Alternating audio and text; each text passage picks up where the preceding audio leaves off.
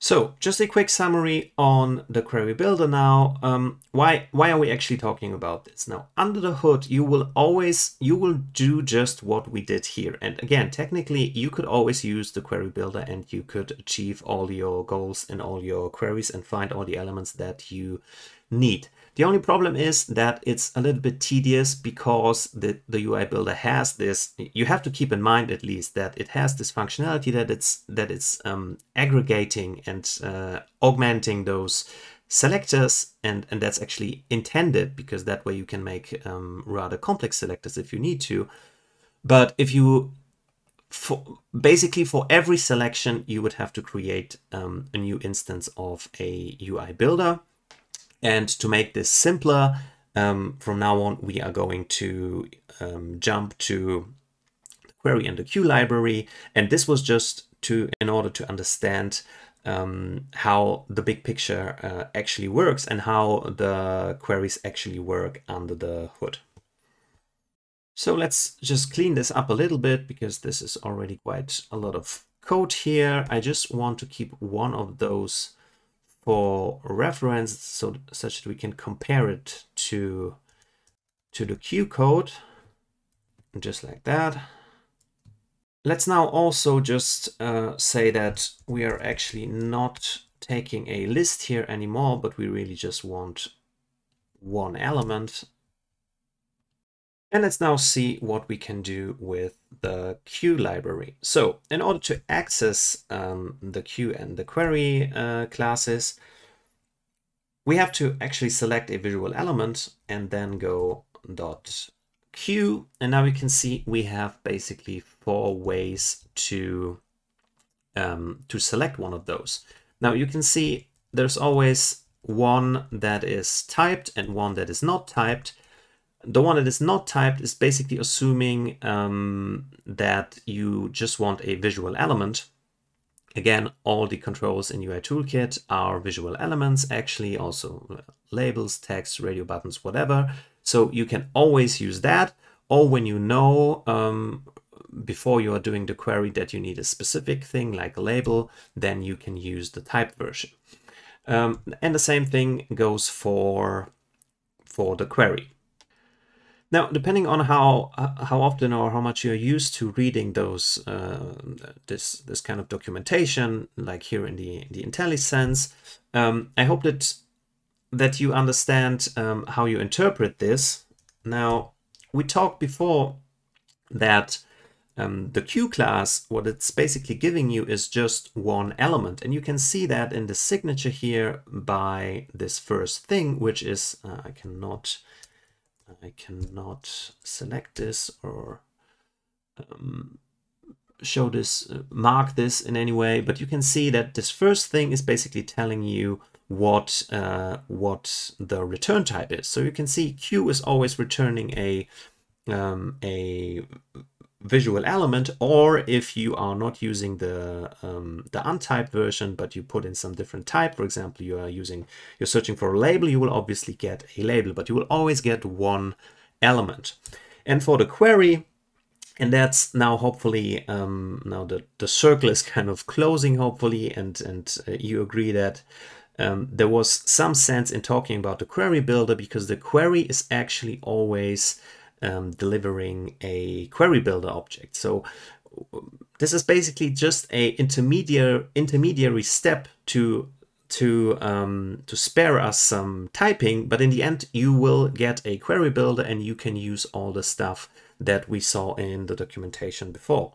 So again, the um, the query is giving us a query builder, and the Q class, as you can see, just read this text: convenience overload shorthand for query.build.first. So Q is also just doing the thing that the query is doing. It is just on top of it giving you the first element basically. And that's just it.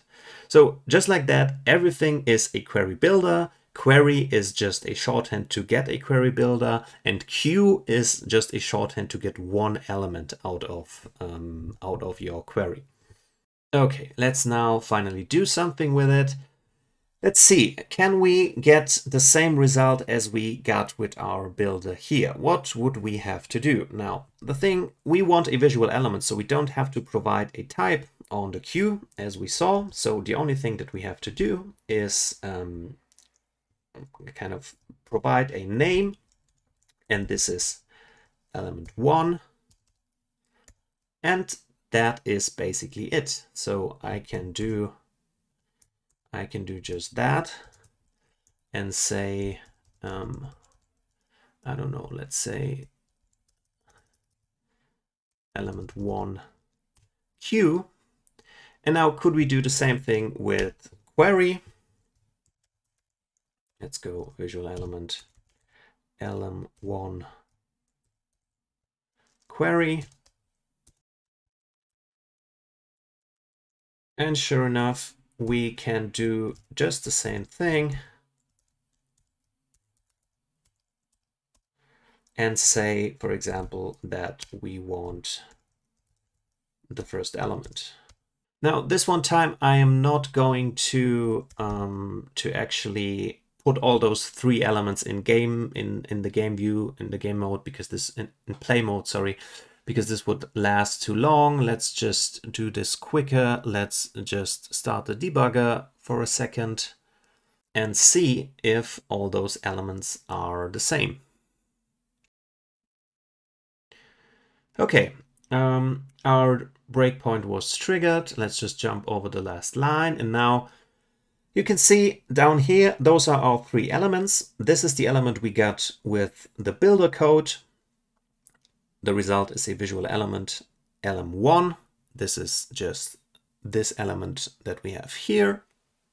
Um, the second element, which is this one here, is the one we got with the Q class. We said that we can use this for single elements and that's what we wanted. Just like that, we got the same element. And finally, with query.first, we could achieve just exactly the same result. Okay, let's just stop the debugger. Now, I hope that by now you are convinced, or at least uh, more convinced, um, that you can do the same stuff with query and uh, Q as we could do with the query builder. Now, obviously, this one one example is um, not a very good uh, proof, but at least um, I hope that with also with the documentation that that we saw with the query giving us a query builder, as you can see here, um, we can now just accept that they are basically doing the same thing. And from now on, um, ignore the query builder, kind of throw it away just like that and use the short syntax and um, play around a little bit, see a couple of more examples to see what we can do with the query class. So let's first focus on the Q class because it's a little bit um, simpler. There's not really too much to say actually because you're just always getting one element. That's uh, a lot simpler than when you have to um, take selections and then also kind of um, choose in inside of the selection.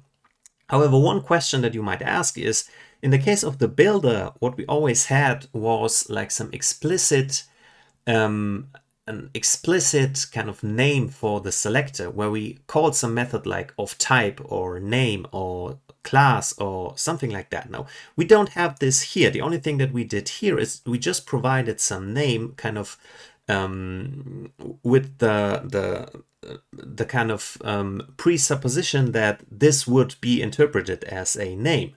And so is that the only thing, for example, that we can use? How could we use a type or how could we use a class name, for example? Because you can actually use those. Now, in order to see that, let's just get a little bit um, rid of uh, this code to be in this state here again where we can use the IntelliSense. And now you can see with this Q, when we look at um, this IntelliSense here, what it's telling us is now there are uh, kind of several things that you can put in here. The default thing when you don't uh, provide anything is the name, as you can see here, as a string, just as we did before. Now, in order to find a class, for example, we can expand this, um, this IntelliSense. What we can do is we can just use it like this, where we provide, where we say that we are looking for a class name. And now we provide um, the USS class name. Now, I told you before that those elements are actually having a class name. And this is, this is called basic square element. Yes. And now let's see if we would actually get something out of this. Um, remember that Q on itself is always choosing the first element. So even if our uh, class name would provide several elements, when we use Q, uh, when we use Q, we automatically use this. Now I cannot move the cursor to it because it will disappear. The IntelliSense will disappear. But when you look on the IntelliSense um, panel here, you you will somewhere find this dot build dot first, and that means that Q is even if you have if, even if you would select a, a, selection, like here with all the elements that have this class name, you will always just get the first element. So let's just see what this returns. I will just get my result element back that we can actually print. I will copy this reference over. And now I can use my mark element. We should be able to see the element. What would we expect? Um, obviously would expect the first element to be selected and voila you can see actually all those three elements have this class name uh, on them but because we're using q we just get um, the first. So with q what we can do is we can select elements for element names we can select elements for class names and the third wing third thing that we can actually do is just select elements with certain types. So when we know that we want a, um, a label, then we could do it like this. And now um, we would only find uh, labels basically that match the, um, the selection criteria. For all, for all the other stuff that is more complicated when you have to chain things, when you have to get, uh, when you want to ask for is something active, is something, um, whatever, el whatever other property you could check for, you have to work with query.